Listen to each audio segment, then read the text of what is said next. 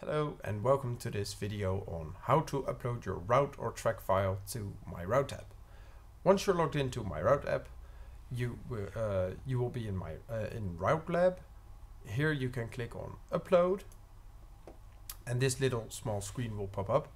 Um, you will see Import Route File, Import Track File. If you want to import a track file, please click on Import Track File and don't import it as a route file because it will load up as a route and not as a track.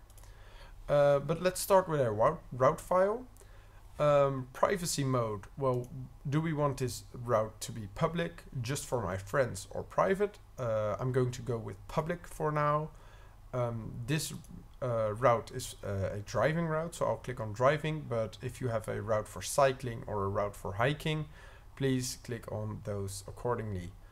Driving, uh, also note that the supported file formats are listed under here. Please uh, only upload these file formats as other formats won't work. Um, the recommended file format for MyRoute-app is a GPX file. Uh, okay, once that's settled, please choose your file from within your computer. I'm, I'm going to choose this file, test route video, point GPX. As you can see, it's a GPX file. Click on it, open. Uh, the route is listed under here.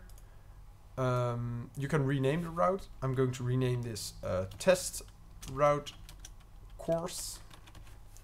Uh, as you can see, the route is 817 kilobytes. Uh, if you click import, the route will automatically save to your route archive, as you can see over here. Uh, you can open the route. You can also rename it again if you like open the route by clicking on it and as you can see this is the route. Now we will do the same with a track file. Go back to route lab click on upload import track file. Uh, it is a let's make this private.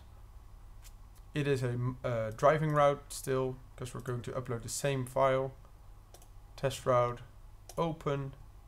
Uh, once again gpx file click import. We're not going to change the name of this one and we're going to click on the track file. And now it opened the route as a track. Okay.